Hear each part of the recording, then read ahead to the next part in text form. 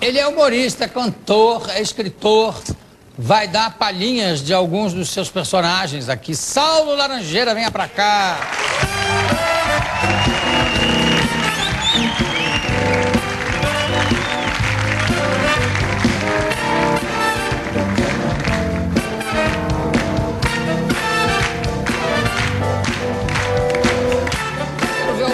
Personagens teus agora. Vamos ver. prim- Posso dar uma ordem aqui?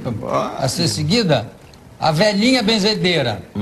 Que, se eu não me engano, é um personagem baseado em alguém que. que Que eu conheci, existiu, que eu convivi. Ah. ela foi assim, digamos, uma, uma boba da corte, porque grandes personalidades políticas, como Juscelino Kubitschek, quando chegava lá na nossa região, no Vale de Jequitinhonha, era filho do Vale de Jequitinhonha, Pedra Azul.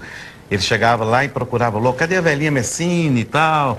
Porque ela conta as historinhas dela, ela benze, ela brinca.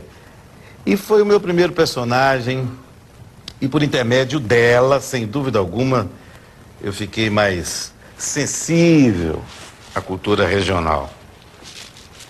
Velhinha Messinha. Eita, meu amor. Olha eu aqui. Eita!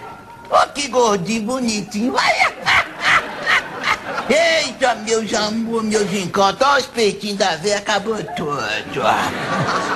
Acabou os cajuzinhos doces. Quando eu era mocinha, era duas mangarrosas. Podia chupar no pé. Eita! Meu que quem te botou quebrando toalhada é uma mulher nos poderes de Deus. Já Virgem Maria, nervo pedido, desconjuntada, espinhela caída, vai dando sustância, vai levantando, vai dando força, vai dando força, vai levantando, vai a levantar e a levantar e a levantar. Jesus abençoe nós todos. Ai, amor.